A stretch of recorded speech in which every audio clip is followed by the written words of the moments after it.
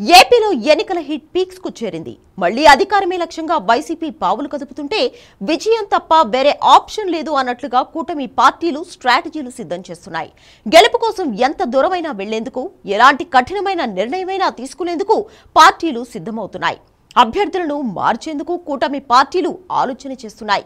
ఇప్పటికే రైల్వే కోడూరు లాంటి అసెంబ్లీ స్థానంలో అభ్యర్థిని మార్చిన జనసేన నియోజకవర్గాల్లో పార్టీ పరిస్థితిపై ఆరా తీస్తోంది.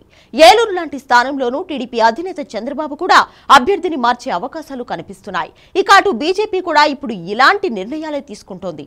తిరుపతి ఎంపీ అభ్యర్థి వరప్రసాదరావును మార్చే ఆలోచన చేస్తోంది. తిరుపతిలో ఆయనకు ఎదురవుతున్న పరిణామాలతో బీజేపీ ఈ నిర్ణయం తీసుకున్నట్లు తెలుస్తోంది. నియోజకవర్గంలో వ్యతిరేకత కుల ధృవీకరణలో లొసుగులు ఇలా చాలా కారణాలు వరప్రసాద్ మీద వ్యతిరేకతకు కారణంగా మారాయి. వీటన్నింటికీ మించి కొద్ది రోజుల ముందు బీజేపీ తీర్థం పుచ్చుకున్న ఆయనకు పార్టీ టికెట్ ఇచ్చింది. దీంతో వరప్రసాద్ అభ్యర్థిత్వంపై పార్టీ క్యాడర్లోనూ తీవ్ర అసంతృప్తి కనిపిస్తోంది. దీంతో ఆయనను మార్చడమే బెస్ట్ ఆప్షన్ అని బీజేపీ ఫిక్స్ అయినట్లు కనిపిస్తుంది. వరప్రసాదరావు స్థానంలో డాక్టర్ దాసరి శ్రీనివాసులకు అవకాశం ఇచ్చే ఛాన్స్ ఉంది.